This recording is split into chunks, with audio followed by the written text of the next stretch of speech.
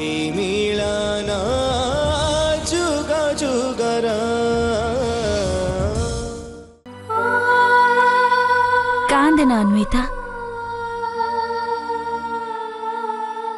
ଆମ ଘରେ ଥିଲାବେଳେ ତୁ କେତେ ଖୁସିରେ ଥିଲୁ କୋଉ କାରଣରୁ ଯଦି ତୁ କିଛି ଭୁଲ କରୁ ସମସ୍ତେ ତତେ ବୁଝେଇ ଦିଅନ୍ତି ହେଲେ ଏଠି କେବଳ ଆଦି ହିଁ ତତେ ବୁଝୁଛି ନାଇଁ ଦୀପୁ ଶାଶୁ ଶ୍ୱଶୁର ଦି ଜଣ ବହୁତ ଭଲ। ହେଲେ ରେଖା ଆଣ୍ଟି ଜାଣି ଶୁଣି ମୋ ସହିତ ଏମିତି କରୁଛନ୍ତି। କାହିଁକି ଜାଣି ଶୁଣି ଏମିତି କରୁଛନ୍ତି? ଏବେ ବି ତମର ଚ୍ୟାଲେଞ୍ଜ ସରିନି ନା କ'ଣ? ଚ୍ୟାଲେଞ୍ଜ ପୁଣି କି ଚ୍ୟାଲେଞ୍ଜ ଚ୍ୟାଲେଞ୍ଜ କିଛି ନାହିଁ ଏବେ। ମତେ ଫସେଇକି ସମସ୍ତଙ୍କ ନଜରରେ ଖରାପ କରିବାକୁ ଚାହୁଁଛନ୍ତି ସିଏ। ସେ ନିଜେ ବୋଧେ ତାଙ୍କ ରୁମରେ ମଶା ସ୍ପ୍ରେ କରିଥିବେ। ସେ କାହିଁକି ସେମିତି କରିବେ? ସେ କ'ଣ ତାଙ୍କ ବାପାଙ୍କୁ ଭଲ ପାଉନାହାନ୍ତି କି? ତା ମାନେ ए भी मोर भूल बोली तमे भाबुछ सेमिति नुहे अन्यता। तुमे स्प्रे मारिन बोली माँ मु भी करिनी से भी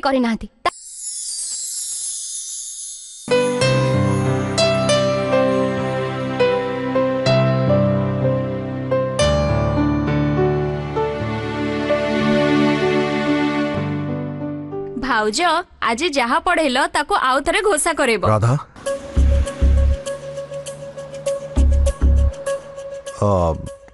କଣ ଭାଇ? ତମେ ବି ଭାଉଜଙ୍କ ଠାରୁ ଟ୍ୟୁସନ ହବ ନା କଣ? ଖାଲି ଅ କହି ରହିଗଲ ଯେ ଅ ପରେ ଆ ତାପରେ ଇ ପରେ ଇ। ଗଙ୍ଗା। ମତେ ଗୋଟେ ହେଲ୍ପ ସେତେବେଳେ ସୋ ଅପ୍କୁ ଓଡ଼ିଆରେ କ'ଣ କୁହନ୍ତି ବୋଲି ପଚାରୁଥିଲ ନା? ଏଇଠି ନିଅ ପଢ଼।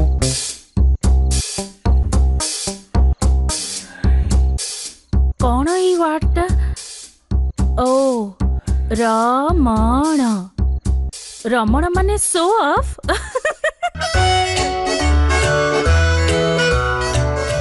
କ'ଣ ଦରକାର ଥିଲା ତୋର? ଯେତେବେଳେ ମୁଁ ତତେ ଭଲରେ ବୁଝାଉଥିଲି ଭାରି ବଡି ବଡି କଥା କହୁଥିଲୁ।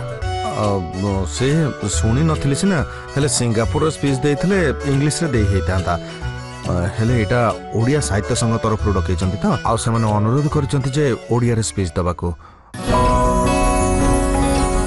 ମତେ ଯୋଉ ଆୱାର୍ଡ ମିଳିଛି ନା ତାର ସମ୍ମାନ ଦେବା ପାଇଁ ମତେ ଡାକିଛନ୍ତି କେନ୍ ୟୁ ପ୍ଲିଜ୍ ହେଲ୍ପ ମି ହେଲେ ମତେ ତ ଓଡ଼ିଆ ଭଲରେ ଆସେନି ଯଦି କିଛି ଭୁଲ ଲେଖିଦେବି ତମେ ସେ ଶେଖରଙ୍କୁ କଲ୍ କର you mean you want do it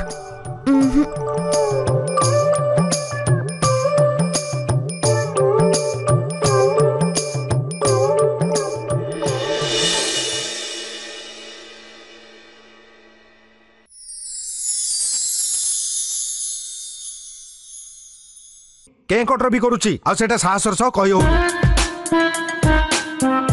ଖାଲି ଚାରି ପାଞ୍ଚଟା ସେଣ୍ଟେନ୍ସ ମାତ୍ର। ଓଡ଼ିଆରେ ଲେଖିଦେଇଥିଲେ ହେଇନଥାନ୍ତା ତାହେଲେ ସ୍କୁଲରେ କେମିତି ପରୀକ୍ଷା ଖାତାରେ ଲେଖିଦେଲ? ହଁ ଲେଖୁଥିଲି। ଆଉ ଏବେ ବି ଚାହିଁଲେ ମୁଁ ଲେଖିପାରିବି ହେଲେ ସୋ ଅଫ୍ କହିକି ସରି କହିନ ନା? ସେଥିପାଇଁ ଲେଖିବାକୁ ମୋର ଇଚ୍ଛା ନାହିଁ। ହ୍ୱାଟ୍ ସରି କହିବି? ମୁଁ? ନେଭର ମୁଁ ତମକୁ ଥରେ ସୋପ୍ କରୁଛ ବୋଲି କହିଲି ନା? ସେଇଟା ସୁଝିଗଲା। ଆଉ ପୁଣି କଣ ସରି କହିବି ମୁଁ? ଠିକ୍ ଅଛି। ସରି କୁହନି। ଏତେ ବଢିଆ ଓଡ଼ିଆ ପଢୁଥିଲ ତମେ ଲେଖି ବି ପାରିବ ନା? ତମେ ନିଜେ କ'ଣ ପାଇଁ ଚେଷ୍ଟା କରୁନ? Okay I got your point I do it ହଁ ତମ ଭଳିଆ ତ ମୁଁ ଲେଖି ନପାରେ ବଟ୍ ଲେଖିପାରିବିନି ନୁହଁ। ମତେ ବି ଅଳ୍ପ ବହୁତ ଓଡ଼ିଆ ଆସେ। ମୁଁ ଦଶମ ଶ୍ରେଣୀ ଯାଏଁ ଓଡ଼ିଆ ପଢିଛି। My second language was Odia. I can manage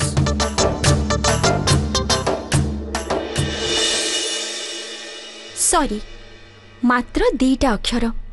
ସ୍ନେହ ଆଉ ଅନୁରାଗ ଥିବା ସୁନ୍ଦର ଶବ୍ଦ। ଏଇଟାକୁ କହିବାଟା କ'ଣ ଏତେ କଷ୍ଟ? ତେବେ ସେଦିନ ଡ୍ରିଙ୍କସ୍ କରି ନିଶାରେ ଥିଲା ଦିନ କେମିତି କହିଲ? ସରି ରାଧା। ଆଜି କହିଦେଇଥିଲେ କ'ଣ ଏତେ କଷ୍ଟ ହେଇଥାନ୍ତା?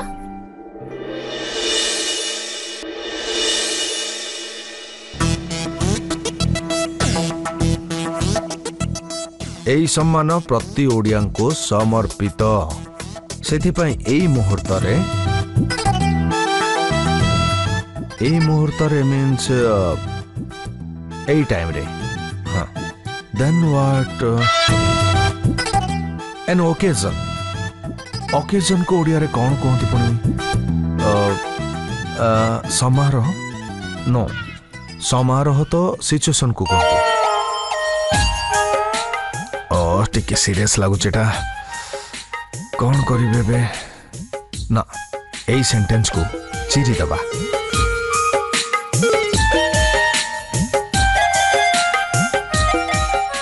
କଣ କୁହନ୍ତି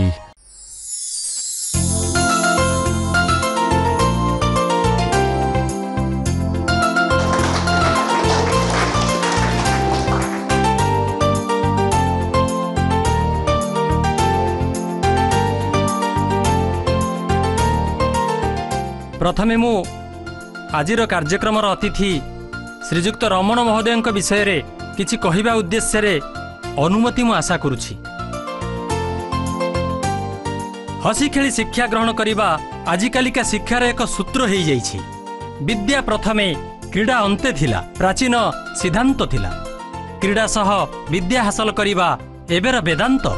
ଶିଶୁ ତଥା ପିଲାମାନଙ୍କର ଅତ୍ୟାବଶ୍ୟକ କ୍ରୀଡ଼ା ଉପକରଣମାନଙ୍କୁ ପ୍ରସ୍ତୁତ କରିବାର ଚେଷ୍ଟାରେ ନିଜର ସମସ୍ତ ମୂଲ୍ୟବାନ ସମୟ ଆଉ ଅର୍ଥକୁ ବିନିଯୋଗ କରିଥିବା ଶ୍ରୀମାନ ବେଦବ୍ୟାସ ଏକ ଛୋଟ ଗାଁର ନିଜ କୁଡ଼ିଆରୁ ଆରମ୍ଭ କରିଥିଲେ ଏହି ଉଦ୍ୟମ। ସେହି ପ୍ରାରମ୍ଭ କରିଥିବା ଏହି ଉଦ୍ୟମଟିକୁ ସୁଦୂର ଭୁବନେଶ୍ୱର ପର୍ଯ୍ୟନ୍ତ ଆଣିବାରେ ସକ୍ଷମ ହୋଇଥିଲେ ତାଙ୍କର ସୁପୁତ୍ର ସୁରେଶ।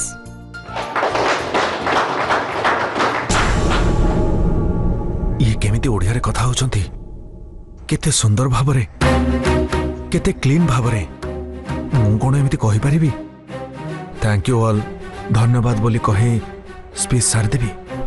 ନହେଲେ ମନରେ ଥିବା ଦୁଇ ଚାରିଟି ବାକ୍ୟ କହିଦେଇ କଣ ମନେ ଅଛି ରମଣ ଜେଜେ ଆଉ ବାପା ଆରମ୍ଭ କରିଥିବା ଏହି ମହାନ କାର୍ଯ୍ୟଟିକୁ ରାଷ୍ଟ୍ରୀୟ ସ୍ଥଳକୁ ନେଇ ଅନ୍ତରାଷ୍ଟ୍ରୀୟ ସ୍ଥଳ ଯାଏ ପହଞ୍ଚାଇ ପାରିଛନ୍ତି ଶ୍ରୀଯୁକ୍ତ ରମଣ ବାବୁ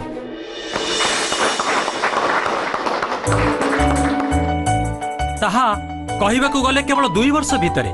ସେ ପ୍ରମାଣ କରିଥିବା ତାଙ୍କର ପ୍ରତିଭା ସତରେ ଅପୂର୍ବ ସମ୍ମାନଯୋଗ୍ୟ ଏବଂ ଅନନ୍ୟ। ଏଣୁ ଶ୍ରୀମାନ ରମଣ ବାବୁଙ୍କୁ এই পরিপ্রেক্ষীরে কিছু কহা উদ্দেশ্যে এই মঞ্চ উপরক আসবাকু মু বিনীত অনুরোধ করুছি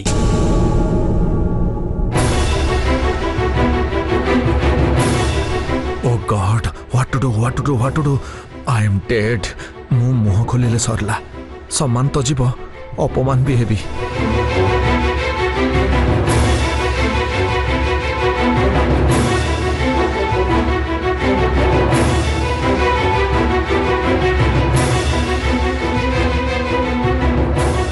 ସାର୍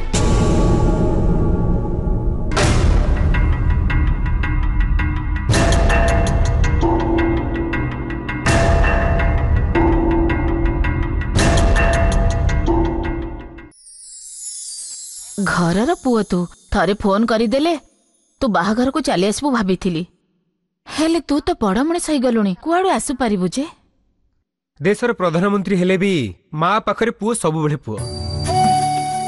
ଆଦି ମତେ କଲ୍ କରିଥିଲା ସବୁ କହିଛି ଏମିତିରେ ରାଧାକୁ ବି କଲ୍ କରିଥିଲି ଆ, ଠିକ ଭାବେ କଥା ହେଇପାରିଲେନି ବିଜି ଥିଲା ବୋଧେ ସେ ଆଉ ଅଙ୍କଲ ରେଖା ମାଉସୀ ସମସ୍ତେ କେମିତି ଅଛନ୍ତି ତୁ ଆଗେ ଘରକୁ ଆ ତ ସମସ୍ତଙ୍କୁ ଦେଖିବୁ ଆଣ୍ଟି ଦେହ ଭଲ ନାହିଁ କି କଣ କାଶ ହଉଛି ଏତେ ଜୋରରେ ନା ମ ମୁଁ ଠିକ ଅଛି ଶ୍ୱାସ ଆଉ ନାହିଁ ସୁସ୍ଥ ଅଛି ମୁଁ। କଣ ହେଇଥିଲା କି? ପହର ଦିନ ସେ ମଶା ଔଷଧ।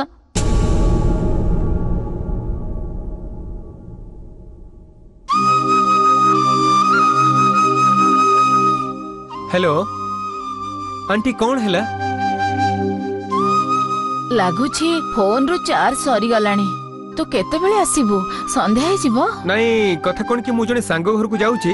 ଯଦି ହବ ମୁଁ ସନ୍ଧ୍ୟା ବେଳକୁ ଆସିବି ନହେଲେ କାଲି ସକାଳେ ଠିକ ଅଛି ତୁ ସୁବିଧା ଦେଖି ଯେମିତି ହେଲେ ଆସେ ହେଲେ ଆସିବାକୁ ଜମା ଭୁଲିବୁନି। ଓକେ।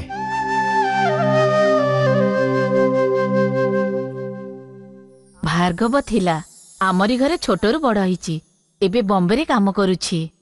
ଛଅ ମାସରେ ଥରେ ନହେଲେ ବି ବର୍ଷକୁ ଥରେ ଘରକୁ ଆସେ।